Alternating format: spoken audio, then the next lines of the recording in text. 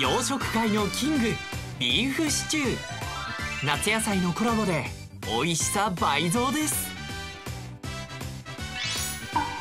この番組は中部電力の提供でお送りします。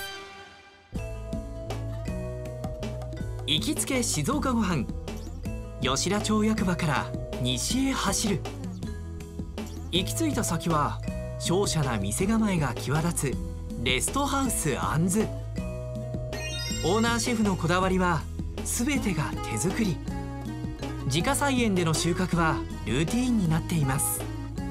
食べるものはもう全部自分で作りますからそういうこう健康志向ももう十分入ってそして美味しいものは誰が食べても美味しいし。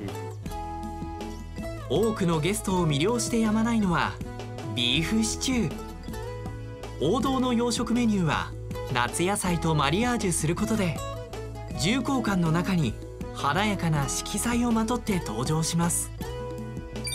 スッと入るナイフは煮込み料理の真骨頂。とろけること必至。そして夏野菜。もはや付け合わせの域をはるかに超えていました。本日もごちそうさま。